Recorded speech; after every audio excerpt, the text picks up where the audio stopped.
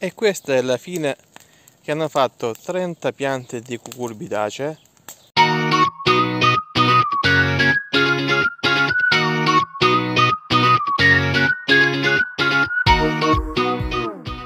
che ho cercato di salvare dagli afidi.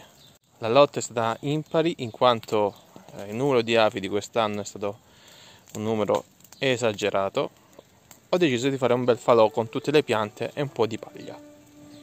Spero che questo mi aiuti a eh, alleviare questo problema degli afidi nell'orto e visto che sono ancora in tempo mi sa che rimpianto o trapianto nuove piante di cucurbitacee.